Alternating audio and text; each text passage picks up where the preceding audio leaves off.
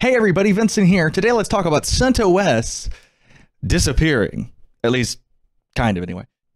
If you haven't heard yet, CentOS is going away, at least the non-stream version of it, after the current CentOS 7 release end of lives in 2024.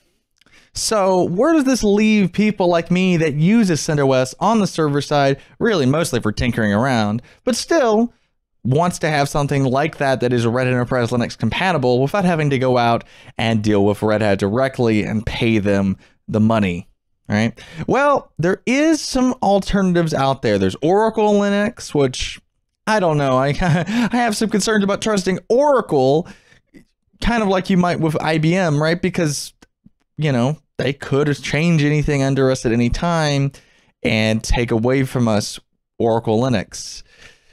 Uh, don't know. I feel kind of iffy about it, but maybe it's a good idea. I'm thinking that some people will probably make the switch.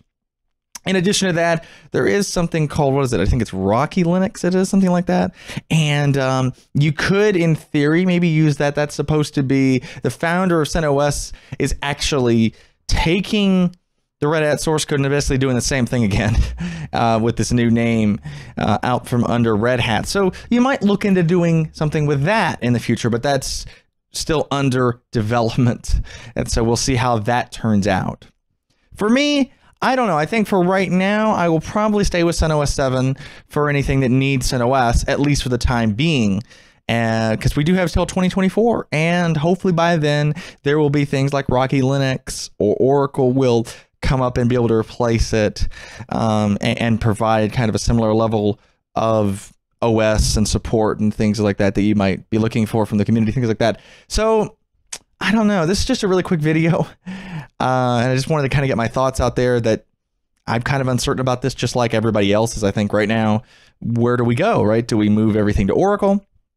Or do we stay with CentOS for now? Do we uh, decide to go out and get Red Hat, you know, actual support and everything and go out and pay them and use Red Enterprise Linux for real instead of, you know, CentOS, which is a repackage? You know, how are we going to handle this situation going forward? And I think that is going to be something that we'll want to watch for the future and see how companies that are using CentOS handle that. How are you going to handle it? Are you using a VPS out there and running CentOS right now for something? Let me know in the comments how that you've decided to uh, move away if you've already made the decision, and if not, maybe give everybody your thought process if you feel like so.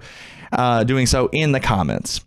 But yeah, this is pretty much all I got for you. So until next time, thanks for checking out Open Source Tonight. This is Vincent signing off if you haven't heard yet, the Red Hat team, well, is it? Mm,